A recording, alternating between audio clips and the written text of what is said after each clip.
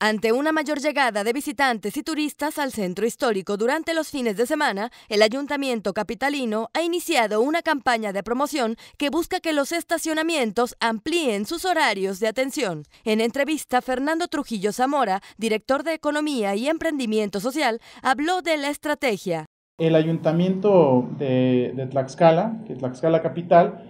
eh, detectó la necesidad de poder... Eh, llegar a un convenio con los estacionamientos para que amplíen sus horarios en respuesta a la solicitud de, algunas personas que pues nos han, nos han comentado de esa necesidad ¿no? de, de, tener algún lugar confiable en el cual guardar sus automóviles, sobre todo los fines de semana, sobre todo los fines de semana que se llevan a cabo todas estas actividades turísticas y culturales, pues como parte del proyecto turístico que, está, que se está llevando a cabo. Se trata de 17 estacionamientos cercanos al centro histórico, a quienes se les hace la invitación de ampliar sus horarios de domingo a jueves de 8 de la mañana a 1 de la madrugada, así como los días viernes y sábados de 8 de la mañana a 2.30 de la madrugada.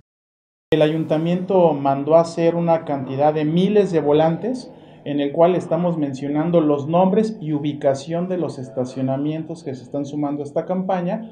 para que lo podamos repartir en los restaurantes más cercanos al centro histórico, los portales, cuadras cercanas, hoteles, comercios que tienen mayor flujo de, gente, de, compradores, y se les empiecen a repartir, entonces ellos se enteren que, ya van a tener acceso a estacionamientos con, pues, con, mayor, este, con mayor tiempo. Quienes se han sumado a esta campaña son los estacionamientos Eclipse, El Paso y Don Porfirio, ubicados en la calle Porfirio Díaz, el patio situado en calle Chicotencatl, estacionamiento Orte de Avenida Independencia, uno más instalado en el número 39 de la Avenida Juárez, el estacionamiento Hotel San Francisco en calle Guerrero, San Nicolás de Guridi y Alcocer, Niágara de Avenida Morelos y el Montejo de la Juárez. Para Ahora Noticias, Marian Gómez.